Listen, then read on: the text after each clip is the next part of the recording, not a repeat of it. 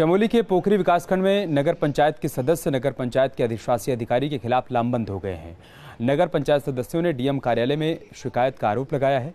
अधिशासी अधिकारी सरकार की विभिन्न योजनाओं की जानकारी आम जनमानस तक नहीं पहुँचा रहे हैं। साथ ही कल्याणकारी योजनाओं पर भी काम नहीं किया जा रहा है, जिससे लोगों को नुकसान हो रहा है।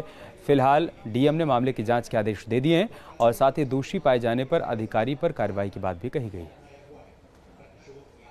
शासी अधिकारी जो है नगर पंचायत पोखरी, श्री राम तिवारी जी, घोर लापरवाही के कारण जो है हमारे नगर पंचायत के विकास कार्य अवरुद्ध हो रहे हैं और ये हमेशा जो है कार्यालय उपस्थित रहता है।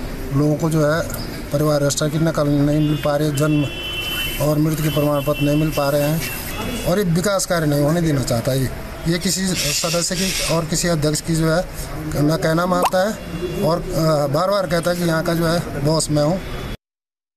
यहाँ पे अध्यक्ष जी और कुछ पार्षद गण ये यहाँ पे आए थे नगर पालिका के अधिशासी अधिकारी के विरुद्ध कुछ कुछ कंप्लेंट लेकर तो उसको ले लिया गया है और उनको समझा भी दी, दिया गया है और इसको एसडीएम के माध्यम से इसकी जाँच भी कराई जाएगी।